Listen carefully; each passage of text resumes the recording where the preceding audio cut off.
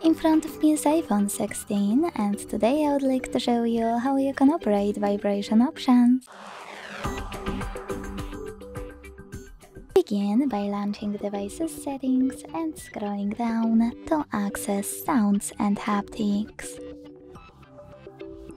Following that, tap on haptics under ringtone and alerts over here and apply any of those options by clicking on a perfect one for you.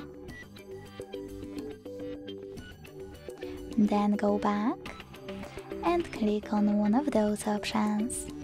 I will go with ringtone. In every one of those, you can access haptics options at the top and adjust them however you want to. For example, only for a new voicemail. Just click on haptics, tap on one of those patterns, select synchronized at the top, or scroll all the way down to tap on create new vibration and create it. Firstly, tap it over here. When you're ready, choose stop at the bottom right corner then to listen to it, click play at the bottom left corner.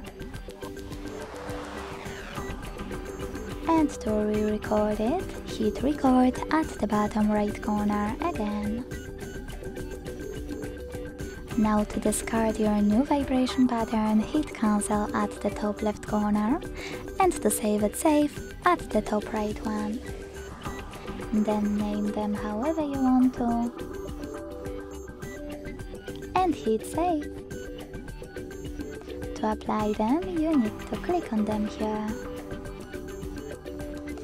When you're done with all of that, go back to main sounds and haptics settings, scroll down and click on keyboard feedback. Then switch on or off haptics thanks to the switcher next to them. Last but not least, after going back one last time, you can enable system haptics using this switcher over here. Thanks so much for watching, if you enjoyed this video leave a like, comment and subscribe. Bye!